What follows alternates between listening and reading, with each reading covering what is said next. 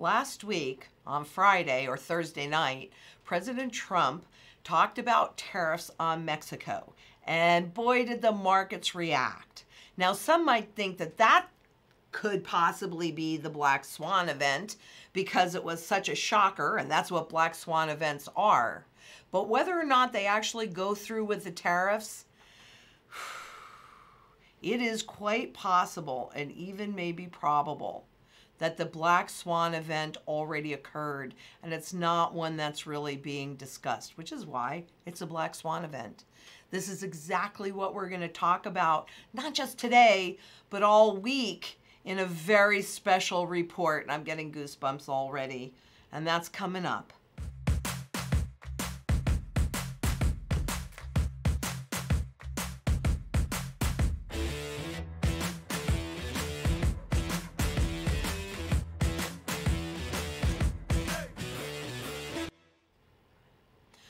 Lynette Zang, Chief Market Analyst here at ITM Trading. And quite honestly, I have been groomed for this moment in time. I have been in these markets on some level since I was 10 years old, and I'm 64 years old. And I got to tell you, that the shackles on the back of my neck are standing up like crazy. Anybody that's been watching this for any length of time knows that this is not the only urgent report I've done, but I haven't done one in a really long time. And today is absolutely critical because I think that the trade wars have just exploded. And this will, if it isn't already the Black Swan event, it's certainly going to lead to that. And as a reminder, it's something, a Black Swan event is something that nobody thinks is possible. Lehman was the Black Swan event in 2008 that took the whole system down.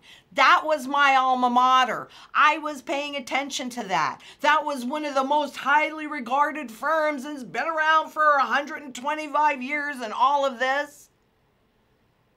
And that was game over. What occurred after the Lehman event was that the central banks couldn't support and the and the Wall Street couldn't support the markets and the system died. And I am not exaggerating and I am not kidding you.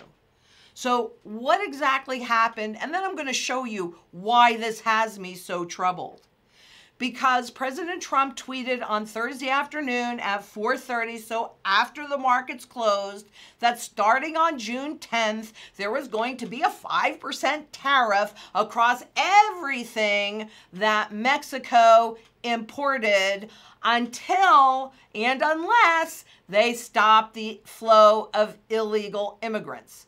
So he's using tariffs to build his border wall. Now, look, the real problem with this is not that. It's the surprise. It's the shock. And it's the fact that China comes out and says, How can you trust Trump to honor a deal? How can you do that? I want you to really think about this because Trump's 180 degree turn on one of the US's largest and friendliest, I might say, trading partners is sending an ominous message to the international community that he cannot be trusted. Look, what are we in? We're in a contract debt based system. And what is President Trump doing? He is changing the rules of globalization. I was a new stockbroker back in 86, and I remember all of the talk about globalization and how it was going to shift jobs, et cetera, et cetera. And I remember thinking to myself, hmm, I don't know how great an idea that is. So it has nothing to do with whether I agree or I disagree. But what's really happened, and we're going to talk more about this, I want you to really see what I pulled up here, is that once you establish whatever those rules are, and these rules were about corporations and really giving corporations actually sovereignty over governments. We've gone through this in different um, YouTube videos that we've seen. And now you're changing the rules. Guess what? Anytime you have a massive change, you think there might be a little bit of danger? Because what all of this is really showing us is that counterparty confidence is gone. That is huge. And even though the only guarantee that I can ever give you is that I will show up and I will do the work, that's the only guarantee. As soon as someone or something else is involved, all guarantees are off the table. But I, I'm going to put my technical neck on the line because I've been watching confidence erode. First, it was in the interbanks, bank to bank lending the banks don't trust each other to get that money paid back, that contract. And that was huge. It set off LIBOR and all sorts of other things that we've talked about. Then in 2015, it was central bank to central bank with the Swiss surprise. Yes, we're committed to keeping our peg to the euro dollar, and two days later, gone. Now, you've got in a when you're renegotiating every single trading contract on earth even if you're not doing all of them yet but you're working toward that and some big key significant ones are being renegotiated no trust no confidence in who might be signing that so this is counterparty confidence erosion this is huge huge huge huge Huge. Why? Because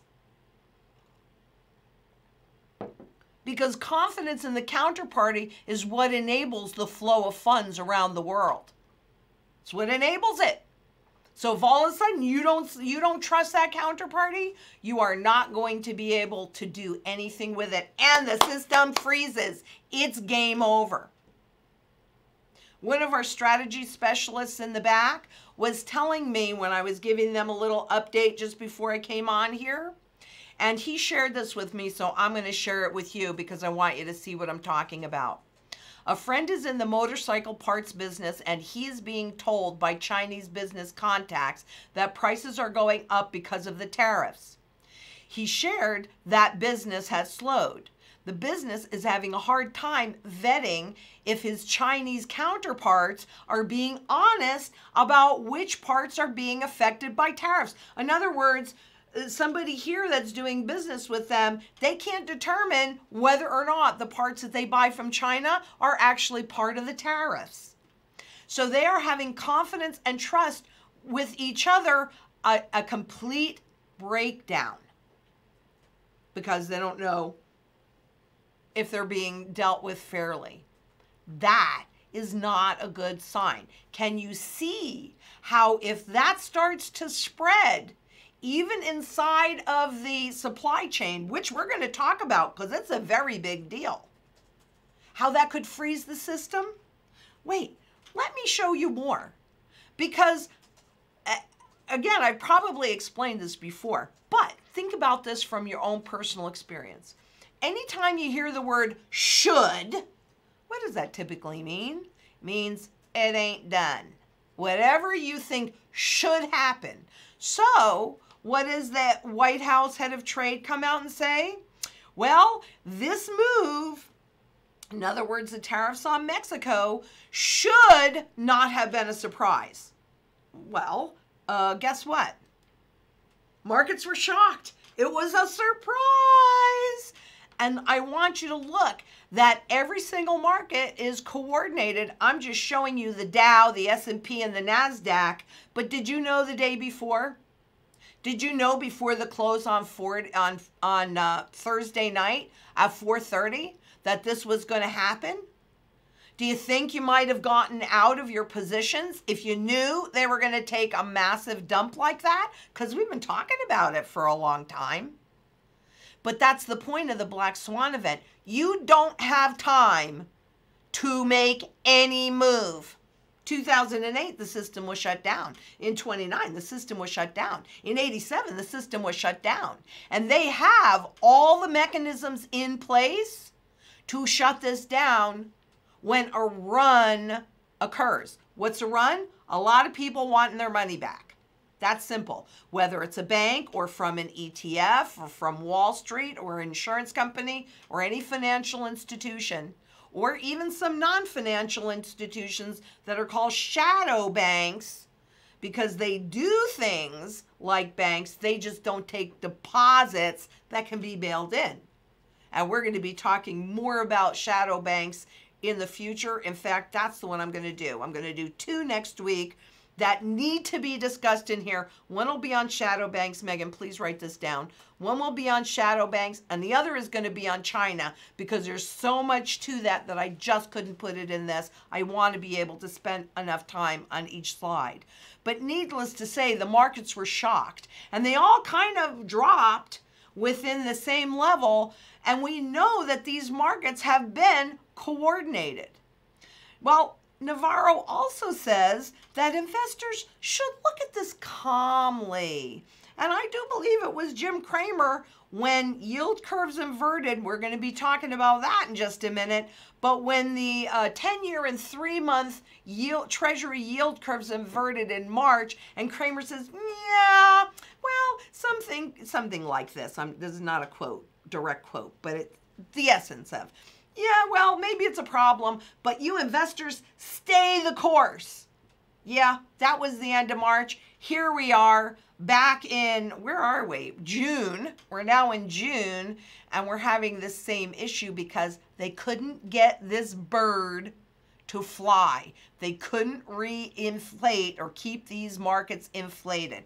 Triple top. We are going to be talking about this with Greg Mannarino tomorrow. You are not going to want to miss that one, and I'll, I'll give you all the particulars. But when these markets dropped, what did it do?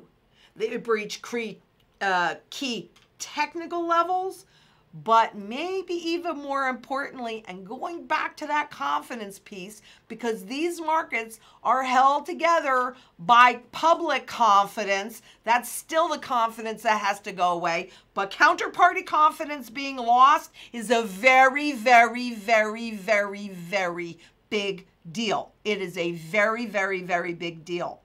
So with the market's behavior like this and the Dow going below 25,000 as the S&P breaking key levels and the Nasdaq breaking key levels, not only is that technically bad, but psychologically it is not good at all. It is not good at all and the tariffs and the really, they impact the entire global economy. So it is not, well, that's over there and this is over here, because it doesn't matter whether it's housing and real estate, farming, food, agriculture, vehicles, electric machinery, regular machinery, fossil fuels. It doesn't really matter.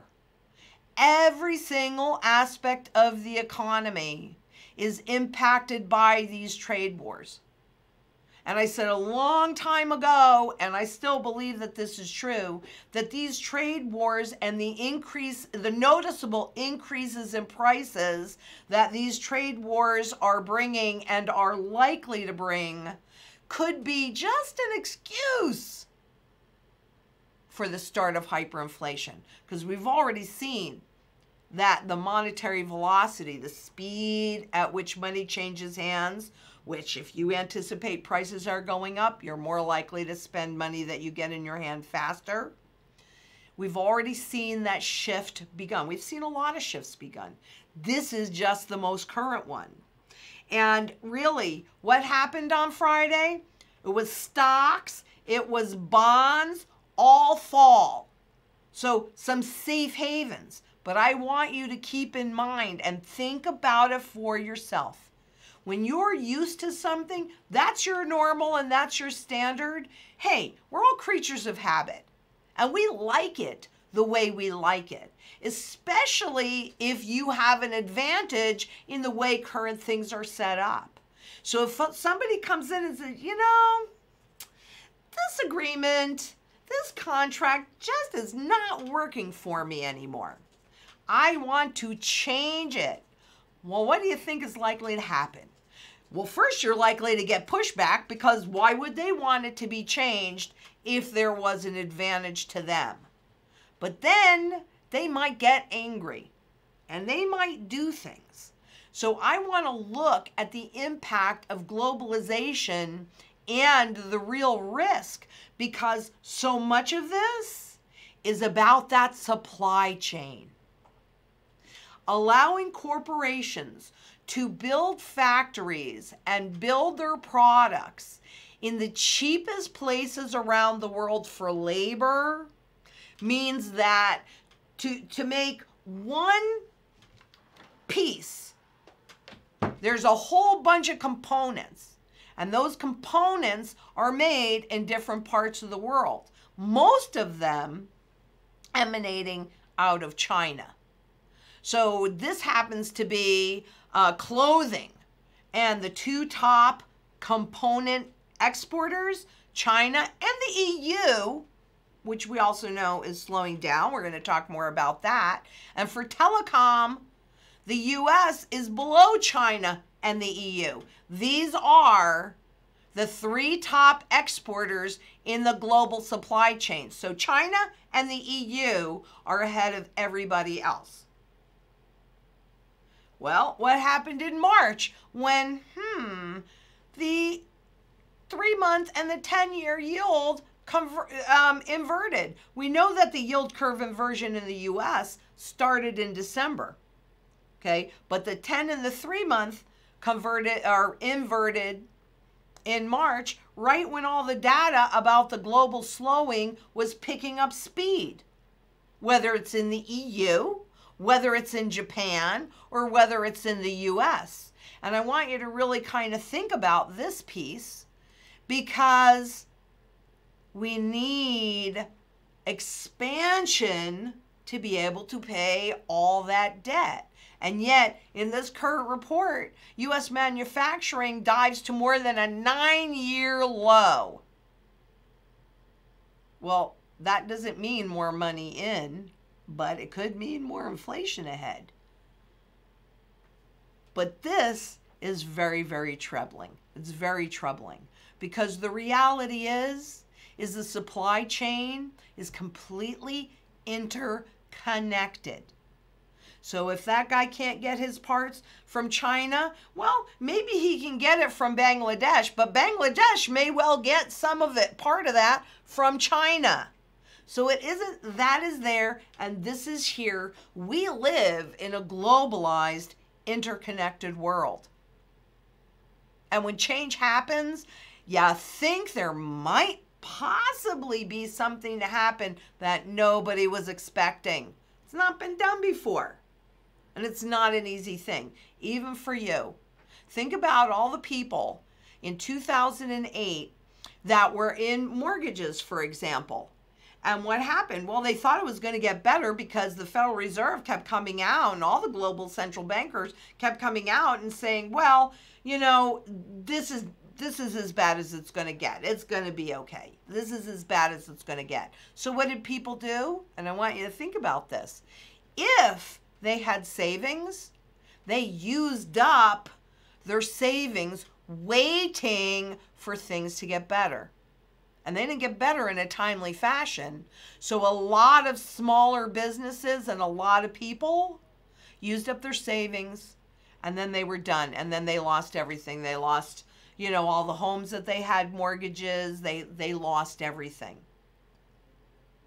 But they kept it going as long as they had savings. I want you to hold on to that thought for a slide I'm going to show you and we're going to talk about in a minute. But keep in mind, that an interconnected supply chain really means interconnected economies.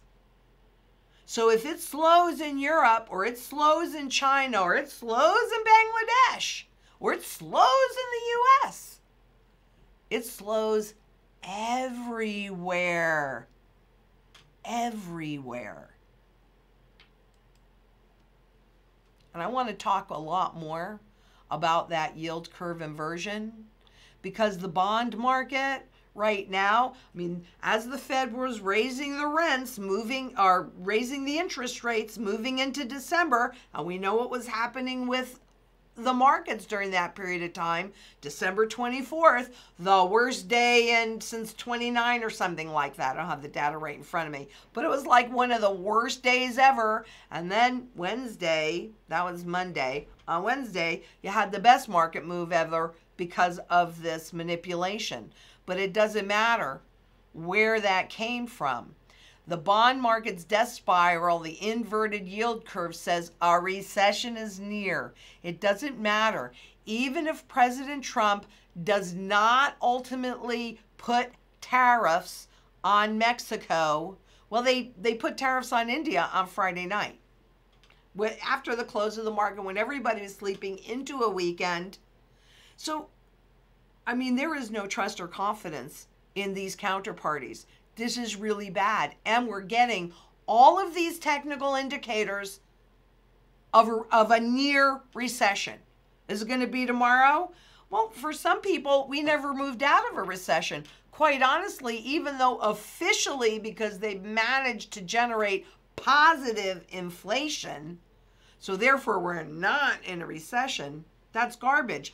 These gray bars on the Federal Reserve charts all indicate official recessions. So we're not in one now officially, although there are some people that would argue with that. And yet we have crossed that line again. This is the same graph. This is the long term one.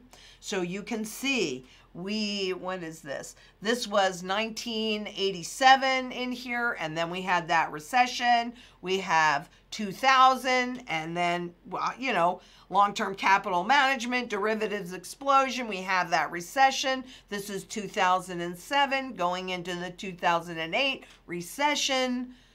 Okie dokie. Well, this is this is just year to date. Goes just back to January, so you could see these two inversions. There it is. There it is. There it is. People always ask me, when, when, when? This is telling you soon, soon, soon. Can I tell you the exact date? Of course not. That is not within my control. But wouldn't you much rather, for me, you do whatever you want. I mean, that's up to you. But I look at this data. I've been living inside of this data for the past 54 years. For me, I would always rather be two weeks too early, two years too early, I don't care, than one second too late. Because when these markets freeze, all of your choices freeze with them. So this could possibly be your very last opportunity to get any wealth that you were thinking about getting out of the market. Get, you, you do whatever you want. I don't hold any there. I wouldn't be holding any there. If I had some in there right now, I would get it out. You do whatever you want. We're going to talk about gold in here because if you're not going to get it out, then at the minimum, get it protected.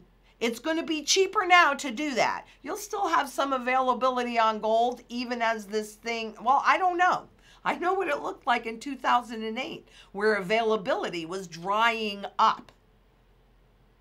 But this is probably the cheapest opportunity you're going to have moving forward into the future. Because one thing I want to go into a whole lot more comes from that report from the IMF and what you're looking at here is sovereign vulnerabilities. And they are elevated in both advanced and emerging market economies. The red line here are the emerging markets. And so they're 80% vulnerable. That's pretty risky. But what's even worse, and if this doesn't scare you, it scares me it scares me, is that advanced economies. So, who's the emerging? That's China. We're going to talk more about that next week. But who are the advanced economies? Hmm, the US, the Eurozone, and Japan. Any of them seem to really be in good shape? I mean, even though they're telling you the economy's so great, all of the underlying data and support is saying, no, it's not. It's going into, and this will be so much more than just a recession because central banks are out of tools. They're out of tools. And they're telling you that advanced economy government bonds, those bonds that are the foundation that we're told is the safest thing that you can do because they can tax you to get the money to repay you. They can print it at will. That is what is saying that we are at 100% vulnerable and 100% at risk. That's what's at risk. We've talked about doom loops many times. You might want to go back and look at some of the work that I did specifically on doom loops. But a sovereign debt freeze is going to impact all the sovereign debt that's in all of those banks that are so highly leveraged right now and have been allowed and encouraged to get even more leveraged since the crisis began in 2008. Just what do you think will happen in a sovereign debt crisis? Do you remember what happened in Europe? Because that wasn't that long ago. What, that 2013, 14, 15, as the European sovereign debt crisis unfolded, what did they see? Oh my gosh, the local banks have an awful lot of the sovereign debt. So the sovereign debt loses value. What do you think happens to the banks? Then the banks print money, or rather, the governments print money, give it to the banks to buy more of the government debt. None of that was cleared up. All of that garbage is still there. So that doom loop will explode. I'm sorry. I'm sorry to say it in such a definitive way, but if that's what the data tells me, then I got to put my technical neck on the line and tell you what I see and what I think about it. This, this is not good. This is totally not good. And now, because we've got this conflict, trade war going on with China that is escalating, and China's sitting on an awful lot of treasuries. Well, they take a much longer view than we do. They're looking at 100 years, 500 years. We're looking at four years, and at this point, because of reelection, eh, that time frame is much, much more narrow. No one thinks that China will use their U.S. Treasury debt holdings as a weapon. That could be the black swan event that pulls it down. Now, look, next week I'm going to talk a lot more about China because there's some data that I need to verify. And I'm not exactly sure of the date, so you can't hold me to this, but you'll be able to next week. Because um, I, I'm pretty sure it was 2011 or 12 or something like that. I could be wrong. Look next week, where uh, the U.S. Treasury gave China direct asset access to their computer database to buy treasury bonds. Now, I don't know if that link was removed. That's what I've got to find out about. We're going to talk about that next week. But there's no other country that the U.S. ever gave that linkage to. And if they haven't removed it yet, well, we're going to have to think about the implications of that. So you don't want to miss that one next week. But I personally would not put it past China to take down the system. They got to reset their debt. They're not in any better shape than we are. But what we do know is the power has been flowing in that direction since 2008. I wouldn't write it off like everybody else is. No one thinks they'd use it. Maybe they will, maybe they won't.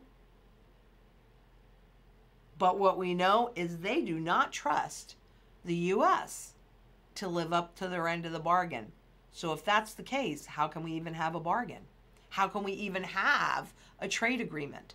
And China has benefited massively from this. I'm going to talk more about that because we need to look at the peg between the yuan, the Chinese currency, and the US dollar and how that's been breaking down. So much information, so many moving parts. And what's been the result of that? Well, let's see. Because with all of this swirling around, there's a flight to safety. There's always a flight to safety when people are scared. And of course, China has been buying gold. But I want to take you back to 2006 when China encouraged their population and allowed them to own gold again and then made it easy for them to buy and own gold. In addition, not one drop of gold that is mined by China leaves China. And by the way, I'm pretty sure that if you're traveling to China and you wear a gold necklace, you better put it on the claim form that you're going in there with a gold necklace because I'm pretty sure you're not taking it out unless they know that you had it. Let me show it to you in a little bit more granular way because as this fear has exploded, we've got the 10 year Treasury price when yields go down, um, Megan, do you have a pen there? Can I borrow a pen, please? Okay, thank you. Okay, these are your bonds. These are yields. This is the principal. This is when they issue it. When yield goes up, bond values go down. When yields go down, bond values, market values go up.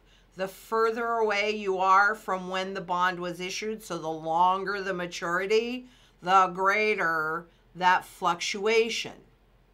So, in a flight to safety, that means that people have been flying to what the IMF says is 100% vulnerable and at risk.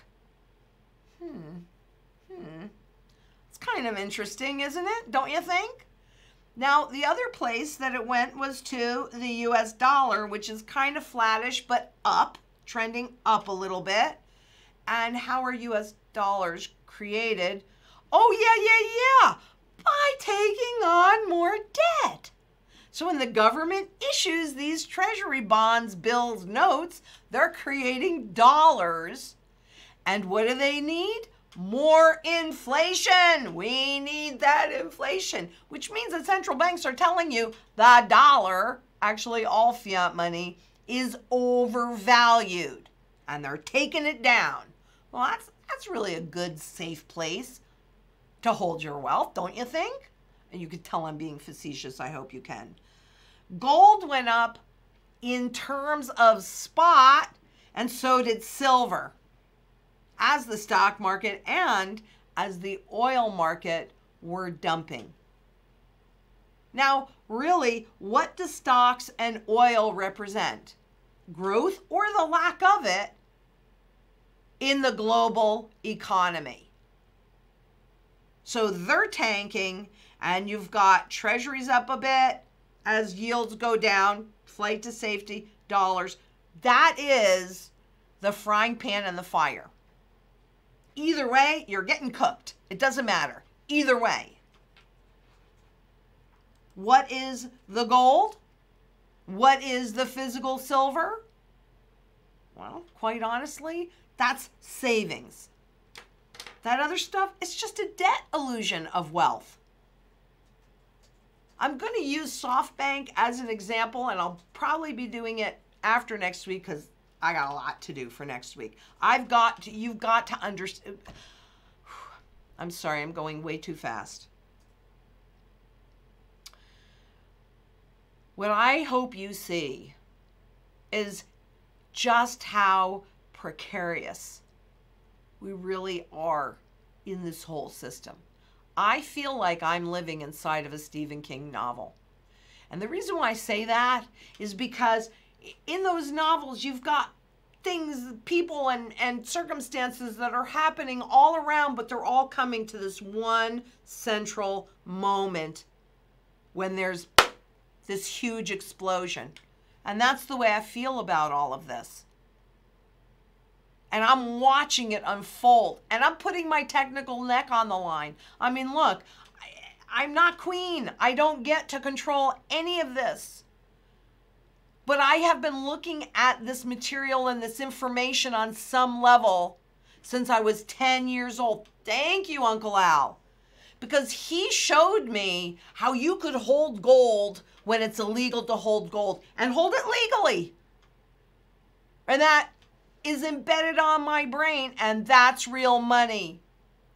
He also showed me the trend cycle of a tangible and how it always goes from undervaluation to fair valuation to overvaluation to fair valuation to undervaluation in a continuous figure eight. Why? Because they're tangibles. They don't disappear and evaporate like intangibles can and do. Banking at 15, stockbroker in 86, studied currencies since 87, and I'm an artist. I see patterns. That's why you always hear me talk about patterns.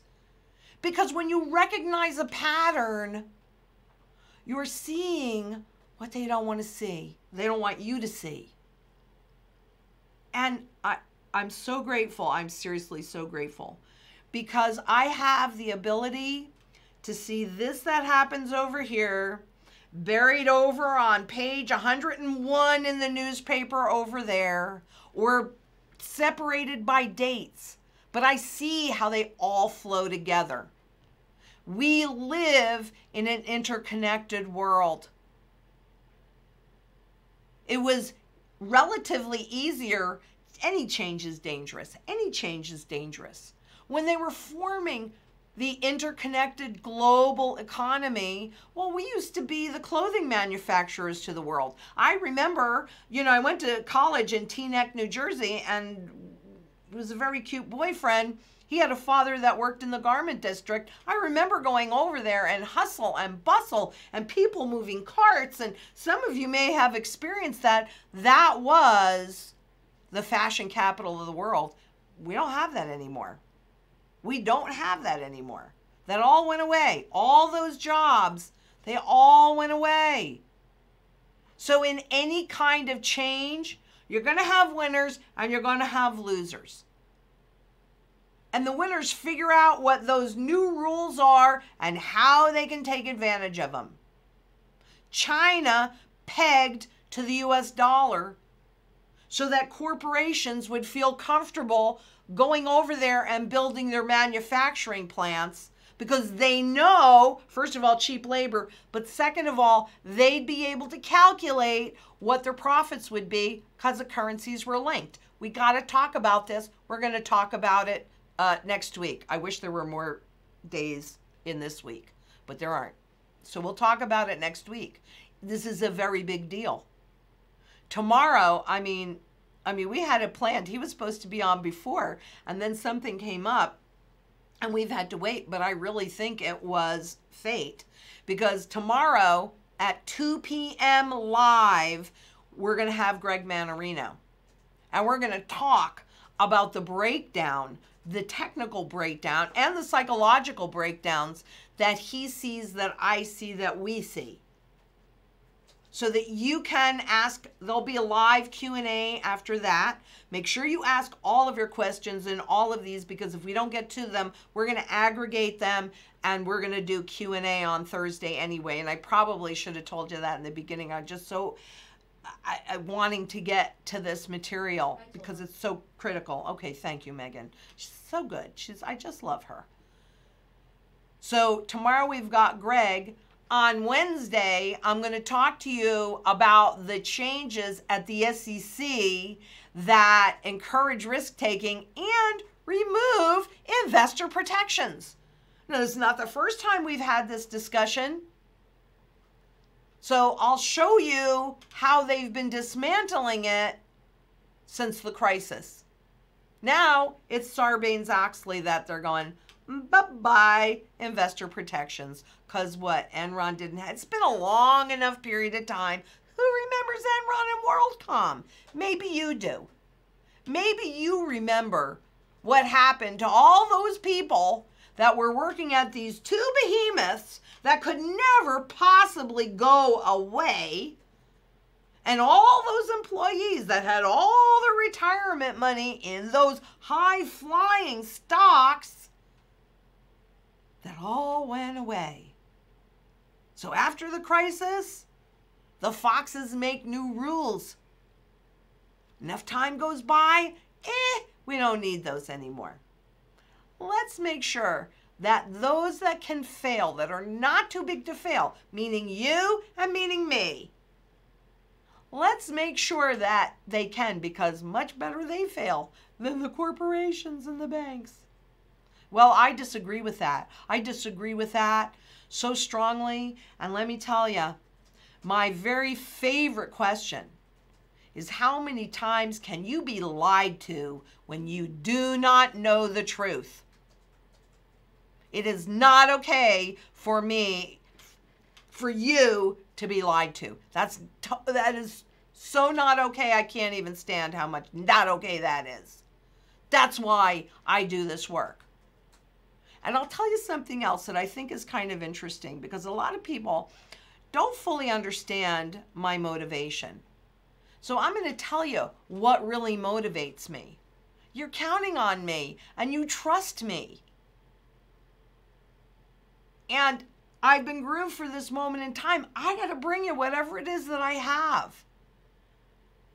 Some people might be concerned about, oh, well, what if I say this and something else happens and maybe that'll hurt my reputation, blah, blah, blah. Look, I'm a human being. That's all I am. I have no control over any of this other than because I have been trained in tangibles, because I have been trained in banking and in stockbrokering, so Wall Street. I understand this language that they make opaque and complex so they can steal your wealth. I work for you. That's why I do it. That's the first and foremost reason. And you can really, there are lots of clients, and some know who they are. I don't know if they're watching today, but in Tuscaloosa, Alabama, those lovely, wonderful, I love them clients have been absolutely instrumental in teaching me how to do all this stuff that you see me do because I wanted them to understand this so much. And if they didn't understand it, even after I had done all the work, I didn't say, oh, they just don't get it. I did it again a little differently to see if I couldn't get further. And you see the result. That and the original owner of this company making me vet everything. I really, it was a pain in the neck, but I'm so grateful because I needed both of those skills to be able to be of service to you today. And that is really why I do it. And doesn't matter that nobody else knows that. You know it. I know it. That's what drives me. I don't want you to lose what you've worked so hard for. For what? For them? For banks? For corporations? I don't think so. Get real savings. That's all I can tell you. Get real savings. Food, water, energy, security, community, barterability, wealth preservation. Please, people, we are running out of time. We are running out of time. So until tomorrow, I really want you to keep in mind wealth shields are made of physical gold and silver. That's what they're made of, not paper or promises, and certainly not contracts. So until tomorrow, 2 o'clock, with Greg Mannarino, I am so excited. I am so grateful that the timing on all of this worked out. This week, this this whole week, is a critical week to be paying attention. Share this. Share, share, share, share, share. And when you can't think of anybody to share with, share it again. It's up to them if they open it up, if they pay attention. But, you know, I mean, I have people in my family that will not pay attention. Okay, I'm not going to let them suffer. That all that means is that I need to prepare for them as well as for me. That's what that means get prepared. Until tomorrow, please, please, please be safe out there. Bye.